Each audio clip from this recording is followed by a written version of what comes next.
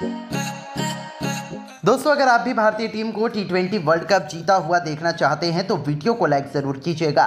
दोस्तों, ऑस्ट्रेलिया के खिलाफ वर्ल्ड कप में मैच में हार के बाद रो पड़ी भारतीय महिला खिलाड़ी। दे दिया सनसनी मचा देने वाला बड़ा बयान। जी हाँ दोस्तों, भारत और ऑस्ट्रेलिया के बीच खेले गए मैच में भारतीय टीम को हार का सामना करना पड़ा है, जिसके बाद भारतीय महिला खिलाड़ियों का बयान सामने आया है। इस बीच हरमनप्रीत कौर, स्मृति मंदाना से लेकर शेफाली वर्मा, दीप्ति शर्मा ने एक ऐसा बयान जारी कर दिया है, जिसको सुनकर आपको भी पैरों तले ज़मीन खिसकने पर मजबूर होना पड़ेगा। तो आखिरकार भारतीय टीम की हार के बाद भारतीय महिला खिलाड़ियों ने क्या कुछ कहा है, ये तो आपको बताएँगे ही। तो जानने के लिए वीडियो को अंत तक ज़रूर देखिएगा, लेकिन उससे पहले आपको क्या लगता है, भारतीय टीम अभी भी सेमीफाइनल में पहुँच सकती है या नहीं? अपनी राय हमें नीचे दिए गए कमेंट बॉक्स में ज़रूर दीजिएगा। दोस्तों, जैसा कि आपको पता है, भारत और ऑस्ट्रेलिया के बीच वर्ल्ड कप का रोमांचक मैच खेला गया, जहाँ पर इस मैच में भारतीय टीम को नौ रन से हार का सामना करना पड़ा। दरअसल, इस मैच में भारतीय टीम ने टॉस हारकर पहले गेंदबाजी करते हुए ऑस्ट्रेलिया की टीम को एक रन, आठ विकेट के नुकसान पर रोक दिया। इस दौरान रेणुका सिंह ठाकुर और राधा यादव ने दोनों विकेट लिए, लेकिन वहीं हरमनप्रीत ने नाबाद चौवन रन और दीप्ति शर्मा ने उनतीस रन का योगदान दिया और भारतीय टीम 142 रन, नौ विकेट के नुकसान पर बना पाई और इस मैच को हार गई।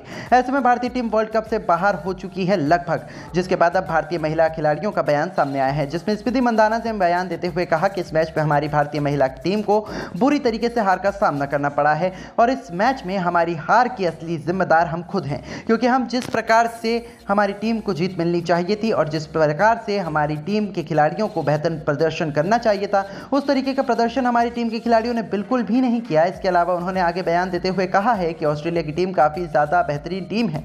ऐसे में उनका हमें हल्के में लेना नहीं चाहिए, लेकिन हमने उनको काफ़ी नॉर्मल तरीके से लिया। जिसके चलते उसे टीम ने हमारे ऊपर दबाव बनाया और हम इस महत्वपूर्ण मैच के अंदर बिल्कुल भी, और हम इस महत्वपूर्ण मैच के अंदर बिल्कुल भी बेहतर प्रदर्शन नहीं कर पाए और इस मैच को बुरी तरीके से हार कर इस वर्ल्ड कप से बाहर हो चुके हैं।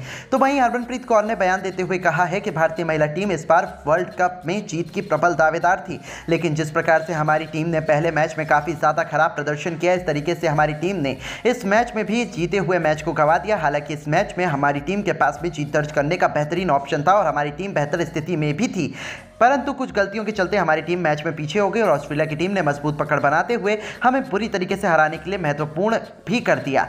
इसके अलावा उन्होंने आगे बयान देते हुए कहा कि इस मैच में ऑस्ट्रेलिया की टीम ने शानदार गेंदबाजी और बल्लेबाजी की है और यही कारण है कि हम इस मैच को बुरी तरीके से हार गए तो वहीं शेफाली वर्मा ने बयान देते हुए कहा, भारतीय टीम को इस मैच के अंदर हार का सामना करना पड़ा है और इस मैच में हार के असली जिम्मेदार हमारी टीम के सभी खिलाड़ी हैं, क्योंकि ना तो हमने बेहतरीन तरीके से अनुशासन के साथ गेंदबाजी की और ना ही बेहतरीन तरीके से बल्लेबाजी की। हालाँकि गेंदबाजों ने अपनी तरफ़ से पूरा योगदान दिया और बल्लेबाजों ने भी पूरी कोशिश की, परंतु जिस प्रकार से विरोधी टीम ने हमारे ऊपर दबाव कायम किया और हमें दबाव में डाला, उसी के चलते हमारी टीम दिक्कत में आ गई। इसके अलावा उन्होंने आगे बयान देते हुए कहा है कि इस मैच में मुझे खुद बेहतर प्रदर्शन करना चाहिए था। ऐसे में हम मेरा प्रदर्शन बेहतर न कर पाना भारतीय टीम के लिए काफ़ी नुकसानदायक साबित हुआ है। तो वहीं दीप्ति शर्मा ने बयान देते हुए कहा कि भारत को इस मैच के अंदर काफ़ी ज़्यादा बुरी तरीके से हार का सामना करना पड़ा है, जिस प्रकार से हमारी टीम की तरफ़ से सभी खिलाड़ियों ने खराब प्रदर्शन किया है। वो वास्तव में मुझे भी निराश कर रहा है, हालाँकि हमारी टीम इस बार वर्ल्ड कप में जीत दर्ज कर सकती थी, लेकिन हमने इस वर्ल्ड कप में उम्मीद के मुताबिक बिल्कुल भी बेहतर प्रदर्शन नहीं किया। ऐसे में अब हमारी टीम वर्ल्ड कप के लगभग बाहर हो चुकी है और अब हमारी टीम को पूरा का पूरा पाकिस्तान पर फोकस करना होगा। अगर पाकिस्तान की टीम जीत जाती है तो हम आगे आसानी से पहुँच जाएँगे, परंतु मुझे नहीं लगता कि इस बार हमारी टीम आगे जा पाएगी। ऐसे में हमारी टीम को असली, हमारी गलती के कारण करारी हार का सामना करना पड़ा है। तो दोस्तों, अब आपको क्या लगता है इस मैच में भारतीय टीम की हार की असली जिम्मेदार कौन रहे हैं? अपनी राय हमें नीचे दिए गए कमेंट बॉक्स में ज़रूर दीजिएगा और ऐसी ही शानदार खबरों के लिए हमारे चैनल को ज़रूर सब्सक्राइब करें। धन्यवाद। अगर आप भी हरमनप्रीत कौर और स्मृति मंधाना को दुनिया का सबसे खतरनाक बल्लेबाज मानते हैं तो वीडियो को लाइक ज़रूर कीजिएगा। दोस्तों, भारतीय महिला टीम ने तोड़ा ऑस्ट्रेलियाई महिला खिलाड़ियों का गुरूर। रेणुका ठाकुर ने आग उगलती हुई गेंद से कंगारू महिला खिलाड़ियों को चलता कर उनकी कमर तोड़कर रख दी। और पूरी टीम घुटने टेक बैठी तो आखिर कैसे रेणुका ठाकुर के साथ साथ और गेंदबाजों के तूफ़ान में उड़ गई ऑस्ट्रेलिया महिला खिलाड़ी? कैसे भारतीय महिला टीम ने रचा नया कीर्तिमान। दोनों टीमों के बीच खेले गए रोंगटे खड़े कर देने वाले मुकाबले की पूरी हाईलाइट तो हम आपको इस वीडियो में ज़रूर दिखाएँगे, लेकिन उससे पहले आपको क्या लगता है? भारतीय महिला टीम इस बार टी वर्ल्ड कप की ट्रॉफी अपने नाम कर पाएगी या नहीं, नीचे कमेंट करके ज़रूर बताइएगा। दोस्तों विमेंस टी वर्ल्ड कप का सबसे रोमांचक मुकाबला इंडिया और ऑस्ट्रेलिया के बीच शारजहां क्रिकेट स्टेडियम में शुरू हुआ। ये मुकाबला दोनों टीमों के लिए बेहद महत्वपूर्ण है। खासतौर पर भारतीय टीम के लिए मुकाबला जीतना बेहद ज़रूरी है, क्योंकि ये मुकाबला जीतने से टीम इंडिया का फाइनल में पहुँचने का रास्ता साफ़ हो सकता है। सिक्का उछाला गया तो एक बार फिर ऑस्ट्रेलिया के पक्ष में गिरा और ऑस्ट्रेलिया की कप्तान ने टॉस जीतकर पहले बल्लेबाजी करने का फैसला किया और भारतीय टीम को गेंदबाजी करने के लिए आमंत्रित किया।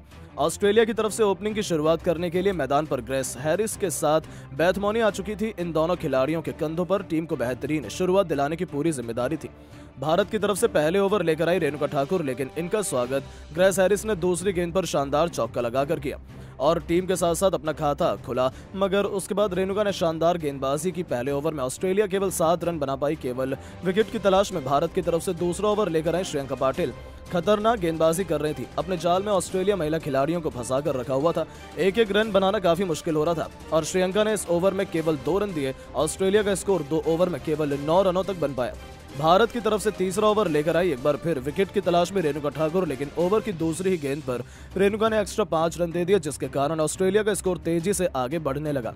लेकिन फिर रेणुका ने शानदार वापसी करते हुए इसी ओवर की चौथी गेंद पर बैथमोनी को राधा यादव के हाथों कैच पकड़वा कर पवेलियन का रास्ता दिखा दिया और भारतीय टीम को पहली सफलता केवल सत्रह रनों के स्कोर पर मिल गई। ग्रेस हैरिस का साथ देने के लिए मैदान पर अब जॉर्गिया वेरहम आ चुकी थी, लेकिन रेणुका सिंह ने अगली गेंद पर ही एलबीडब्ल्यू उनका होकर पवेलियन लौट गई और बैक टू बैक भारतीय टीम को दूसरी सफलता मिल गई। ऑस्ट्रेलिया की टीम पूरी तरह से मैच में पीछे चली गई, लेकिन ड्रेस हैरिस अभी भी मैदान पर टिकी हुई थी। उनका साथ देने के लिए मैदान पर कैप्टन ताहिल मैगरात आ चुके थे।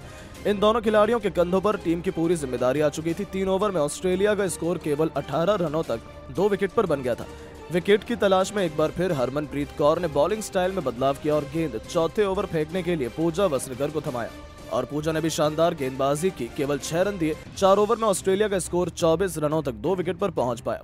भारतीय महिला टीम मैच में हारी नज़र आ रही थी, लेकिन ऑस्ट्रेलिया महिलाएँ खिलाड़ियों को मैच पलटना बखूबी आता है। इसीलिए भारतीय गेंदबाजों को विकेट लेना बेहद ज़रूरी था। विकेट की तलाश में एक बार फिर पांचवा ओवर लेकर आई रेणुका ठाकुर, बेहतरीन गेंदबाजी कर रही थी।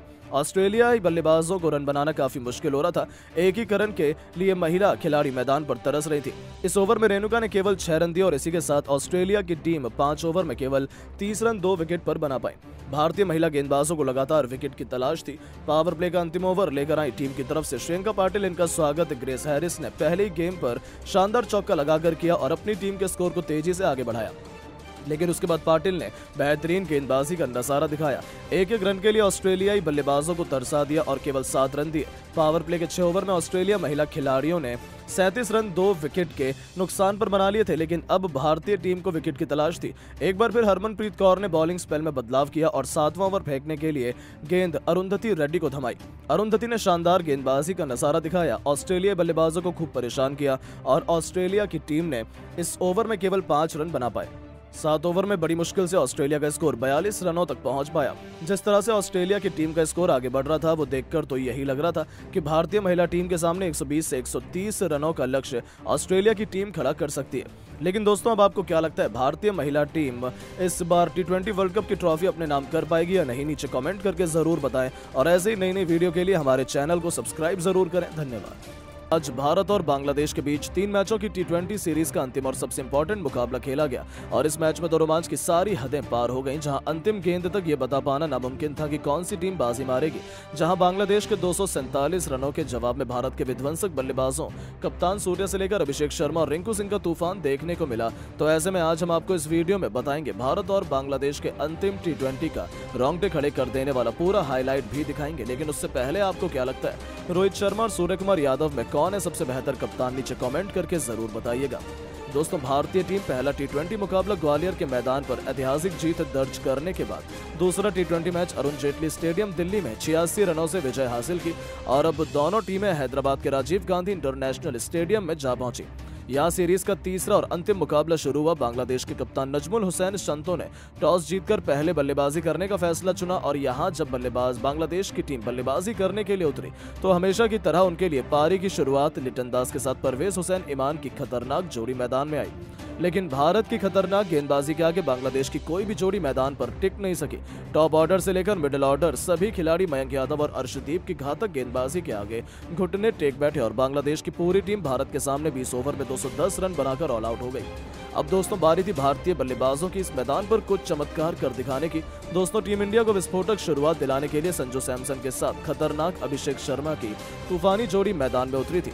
ऐसा लगा था कि ये दोनों खिलाड़ी टीम इंडिया को ताबड़तोड़ शुरुआत दिलाएँगे, लेकिन संजू इस मुकाबले में एक बार फिर जल्दबाजी कर बैठे। वो गेंदबाज के बिछाए जाल में फंस गए और फील्डर को अपना आसान सा कैच देकर इस खिलाड़ी को पवेलियन लौटना पड़ा।